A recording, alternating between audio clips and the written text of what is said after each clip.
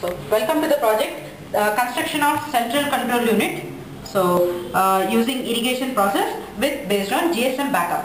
So here this is a central unit. Uh, here to this particular central unit you can see this is RF transmitter and it's an RFID reader. For demo purpose we are showing three tags, one, two, three. First tag is for the motor 1 section, second tag is for the motor 2 section and the third tag is like invalid tag to justify whether motor is there or not. And these are the two control buttons to on a motor and to off a motor.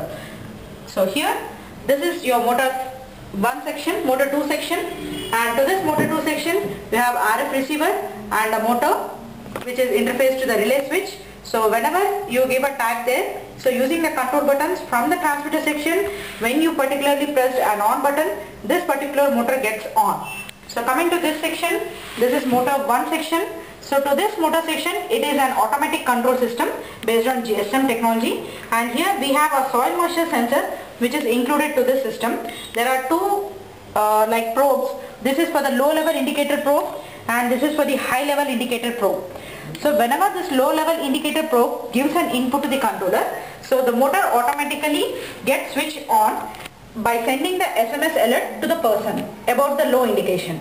And whenever this high probes gives an in input like the motor or water has been filled to the tank, then automatically the motor will get turn off indicating through SMS alert. The motor is operated through your relay switch. Just we'll see the output. So now, first we check with the motor 1, motor 2. Motor 2. So when I show the particular tag here, so you can see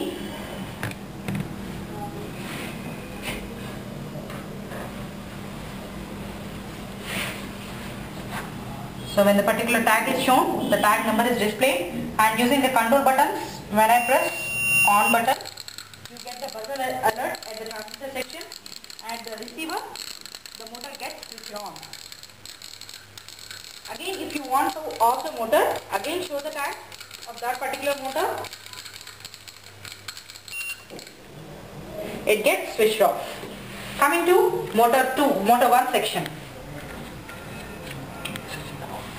So here in this GSM modem, initially you need to, so once the GSM modem is initialized, you need to send a please send SMS as about in small characters. So from the second mobile when you send about message, so you can see from which number you have been messaged. Okay, you can get the number and once you have received this particular message, the system itself sends a feedback message again to give the entire uh, procedure for the format. So you can see the message. Welcome to the project Central Control Unit.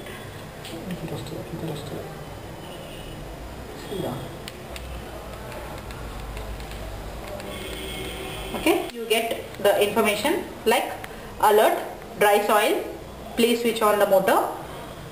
So here you will be getting in this sign. So here as I show the particular tag to the RFID reader at the central unit. So from the system you can make the motor on.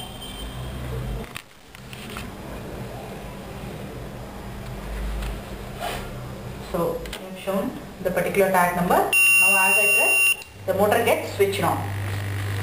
So once a motor has been switched on, there are two sensors. Like this is for the low level indication. So here you get a feedback as the motor has been switched on through SMS. So now so once if the soil has received the water, so from the soil moisture sensor it gives input to the controller, automatically the motor gets switched off and parallelly you get the SMS alert like Motor got the motor, motor got has got the switched off. And when low. Low. Thank you.